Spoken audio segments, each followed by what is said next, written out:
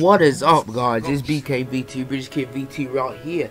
And we back with MMA Talk 101 Last time I did an MMA Talk video My belly, I couldn't even see my wee wee when, when I was peeing. When I was washing my ass, couldn't even see my wee wee.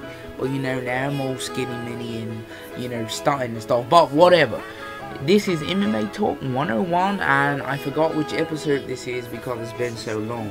But I just got finished watching a beastly main event coming out of UFC 157 Rousey versus Carmouche. And the reason why it was beastly wasn't even because of Rousey and Carmouche throwing down. The reason why is because Rousey was about to have a nip slip. Her titties were about to pop out her bra. And you know, I'm sitting here, um, what you call it? Had her in the face crank, a standing face crank choke. And Rousey tits just about to pop out, pop out like you see it. The friction is going against the bra. You're like, yes, pop, pop, pop, pop. You know, I'm sitting here doing the Daniel Bryan, yes, yes chant. You know, just pop out, pop out, and then all of a sudden she escapes the face crank and then she like fixes her bra and stuff. Like that's some Illuminati shit. Is the government is watching over so Rousey don't do a nipsey. But whatever. It, it, um, the fight was great. So what I'm there to do here is um basically go over each fight. Uh, one on the prelims and the whole main card, and how great the fighters say, uh, you know, where should they go from there, and stuff like that. So this is basically a post post event recap slash analysis, whatever you want to call it. So I'm gonna pick off one fight, which is basically against the two most famous people out of the whole prelims, which was Brendan Schaub versus Lavar Johnson. Now, first of all, going into this fight, I thought Lavar Johnson was gonna win. You know, I completely disregarded that he was horrible off his back. He was horrible defending the takedown and not Brendan Schaub would actually try and take him down. But as in MMA knowledge, as you're preparing for a fight, you gotta uh, display your opponent's weakness. You know, you gotta capitalize on that. I really forgot about that. So Schaub, all Schaub really did was just take him down. Uh, had him on his back, didn't do so much damage anything like that. To tell you the truth, Brendan Schaub was really just trying to save his job because he's really been on like a, a funk lately. Um, did he just recently lose to Ben Rothwell? Yeah, he recently lost to Ben Rothwell and uh, Minotaur Nogueira. So, and it was both by KO, and it was the type of KO where he was dominating, you know, on his way to a win, and then boom, you know, he just knocked out. I always thought that he should go down to light heavyweight. I don't see him messing with Jon Jones, but he could probably have a better career there than he would at heavyweight. And plus, him and Jon Jones train for Greg Jackson, so I really don't see that happening if they're butt bodies. But um, yeah, I really thought winning Schaub I mean, Lavar Johnson was just gonna dismantle Schaub. If not dismantle him, it would be where Schaub is on his way to a win, like once again, and then Lavar just comes out of nowhere, Falcon punch, and then you know Schaub is just on the ground, and then he's with him. So where should Schaub go from here? I think Schaub should fight Frank Mir. I'm not quite convinced that Brendan Schaub has a defined takedown scheme. You know, you can't really uh see and grade that if it's against a fighter like Lavar Johnson because Lavar is like a turtle on his back. He just can't get up. So let's put him against Frank Mir. You know, Frank Mir is a whiz off his back and is more. He's got Brendan Schaub will have to be more alert if he was to take down Frank Mir out will. You know, he can't just lay on him and look at the clock. Or we could give him the Travis Browne. You know, Travis Browne is coming off a loss, top heavyweight prospect. I think Silva got lucky against him because he uh, hurt his thigh or leg in the middle of the fight. But Browne has uh, got a solid stand-up game. He's powerful. That that would make for an interesting fight. As for Lavar Johnson, this wouldn't really make too much sense since Roy Nelson is kind of on a tear. But I don't see Lavar lasting too long with the company. So you might as well just give Roy Nelson to have a, you know, a, a goodbye fight. You know, a fight where you'll be like, okay, these two are gonna stand up, someone's gonna get knocked out. It's nothing like that. But that most likely won't happen because they won't just put a fighter who's doing gold, you know, make someone fight lower competition like that. You could have him welcome Shane Carwin back to the cage. You know, Carwin has been sidelined with injuries for a while, and I guess a good warm-up fight would be against Lavar Johnson. Or you could have him welcome Cheick Kongo, and you know, let's just face it, that would make for a fight for whatever. So with that said, we will go on to the next fight. Robbie Lawler versus Josh Koscheck.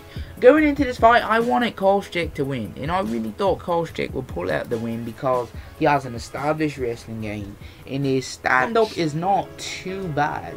Robbie Lawler is known for his death-defying stand-up, but he does not have great takedown defense.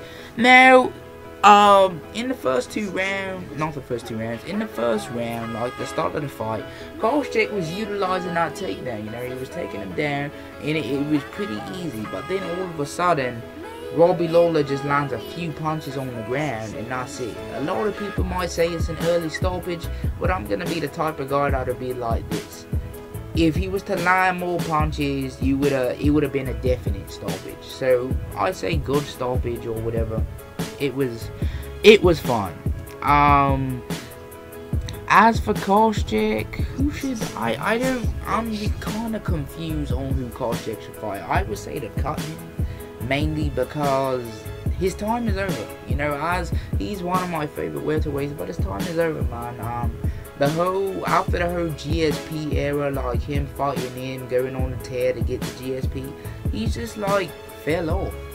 Um, he's fell off, and I I actually do think he got robbed against Hendricks and Pearson, but I still think Koscheck fell off, and it would be the right time to cut him or put him on a prelim card. As for Robbie Lawler, you know, step him up in competition. You could probably welcome Tarec Saffiedine to the cage because he was like the most recent Strikeforce welterweight before they shot down. He could probably him. Okay, so Court McGee versus Josh Neer. Going into this fight, I seen Josh Neer win because this was Court McGee's welterweight debut. But before he lost to Costa Philippou at middleweight. Philippou is a big menacing middleweight, and really all he did the whole fight was just uh, pound on Court McGee. And, you know, he didn't necessarily do damage, but he was just so aggressive and, you know, just landing so much that Court McGee couldn't do anything. So I thought, you know, being a fighter Josh Neer is, his little balls to wall persona and just going in with punches and flurries, I thought it would overwhelm Court McGee and Court McGee wouldn't really be able to do anything. But he shut me up and he got a dominant unanimous decision win over Josh Neer. As for that, I think Court McGee should probably fight Martin Kampmann. Martin Kampmann, you know, Martin Kampmann coming off a loss, and this will be a real test to see if Court McGee at welterweight is a menace or is it just something that's garbage. Either that, or he could welcome, be another one of those fighters to welcome Tarec Saffiedine to the cage. You know, uh, you can warm Saffiedine up to a like Court McGee. You know, you don't have to start him out with the big names. But uh, as for Josh Neer, who should Josh Neer fight? Um, Josh Neer is on the dreaded three fight list. Now, usually when you get on that, you get cut. And the UFC is on a cutting spree right now. But Josh Neer is also another one of those exciting fighters that Dana White likes to keep around because they bring in the fights that bring in these casual fans and these people that like seeing, you know, two men in the cage just knock each other's head off. But I think a good next fight for him would be Dan. You know, this is a man that no matter what, he's going to stand up. And Josh Neer would be proud to stand up with him. So if Josh Neer was to lose, yeah, you know, you gotta cut him. Uh, it would be a good way to go out. And if he was to win, then you know it's a good fight. You could schedule another fight with him. Uh, Uriah Faber versus Ivan Menjivar. Going into this fight, I knew Uriah Faber was gonna win. You know, this is typical Uriah Faber stuff, and I actually like Faber, but this is typical stuff, man. He'll win a fight or two, they'll put him up against a top contender or not even a top contender, but somebody who's in line to fight for the title. He'll get dominated by that person, or he won't even do anything to like uh, solidify himself. Uh, he won't even really put up a fight. And then after that, they'll have him face somebody who's like in the lower mid card, not as good, but you can obviously fa- see favor with Dominator. And um, that's exactly what he did. He, in the first round, he locked on a rear naked choke and just tapped out uh, Ivan Menjivar. And it was 30 seconds left, like some 30 to 20 seconds left. But where should they go from here? I think Faber should welcome Scott Jorgensen to the cage. Jorgensen uh, did beastly in his last fight. He's coming off a win. Faber's coming off a win. You know, let's see him clash. What you got, Faber? And um, as for Ivan Menjivar, I think he should go. This would probably not be a good idea, but Michael McDonald. You know, Ivan Menjivar is not that bad of a fighter. He's kind of exciting. He's not all uh, takedowns and all that. Michael McDonald also has power in his hands. It would make for an interesting fight. So, you know, maybe put him up against Michael McDonald. Bring, try and make Michael McDonald rise back up in the ranks again. Uh, Lyoto Machida versus Dan Hendo Henderson. Uh, going into this, I these are my two favorite fighters at light heavyweight. And going into this, I seen Lyoto win it. Because what people don't understand, wait, I got a burp for a second. Hold on, hold on. What a nice burp. But what people don't understand is that Dan Henderson is not the man he used to be. Don't let the fight of the night performances with Shogun fool don't let that fool you. I kind of seen the change in Dan Henderson when he fought Rafael Cavalcante in Strikeforce. He got rocked by one of his knees and then he was being taken down like twice by Cavalcante.